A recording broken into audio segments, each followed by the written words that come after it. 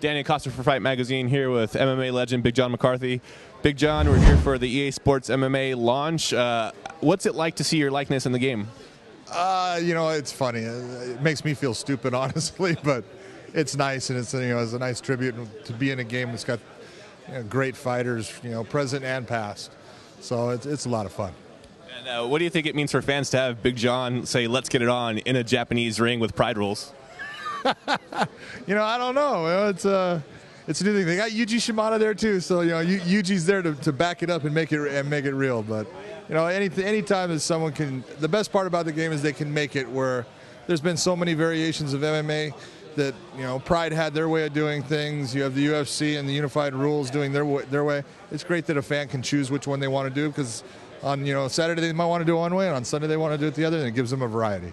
Is it surreal to, to see this happening? You know, all, all the hype and everything that's coming in MMA, and now we know there's two video games out there that are you know really taking the game or and the sport to different audiences. Uh, you know, everything that you know along with this, whether it's the UFC's undisputed game or EA Sports, it helps in marketing MMA to the mass, and that's what it's all about getting more fa- more people that understand what these guys are really doing, what the sport is really about, and so they can see how special the sport is.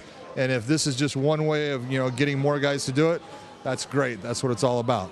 There's a lot of controversial decisions going around in MMA these days, and you were actually part of designing the judging system and the scoring system in this game. So uh, people could blame you if something goes wrong. Is that right?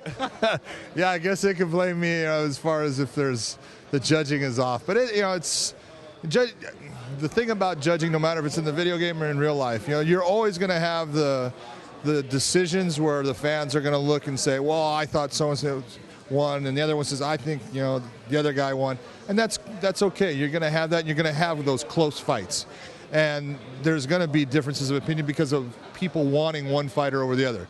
What we always want to get away from, whether it's you know video games or real life, we want to get away from. It's pretty clear which fighter won, and that guy doesn't get the decision the way he should. That's that's all about education and you know training, and that's what everyone that's involved with MMA, every athletic commission, you know, all their people, all their you know licensees that are judges, all need to continue to train. I need to continue to train. Everyone does to keep on making yourself better and to evolve with the sport as it evolves because the fighters are always evolving and we need to be right on top of it with them. And so, having that control over the game and the scoring, you know, what were some of the things that you implemented to make sure that it was accurate to, you know, the way the sport should be scored? Oh, you know, within the video game, we talked about damage was a big thing. Which fighter got damaged more in the fight? Uh, submissions that were applied. It's the whole thing with judging is the best part about what the the video game is. The video game is not going to sit there and want the fighter to do a certain thing. And sometimes in judging, we can we can have a fighter doing something, and as a judge, we'd like to see him do something else, and that can sometimes impact our decisions on the fight. And so, with this, it's what they do, the techniques they use, and what was effective, what really hit, what didn't hit. And you know that's hard in the real world. Sometimes it's hard to see exactly which is the harder punch that's landing and stuff. And in, in this game, it's going to be monitoring that, so you're going to get probably the right decisions most of the time here.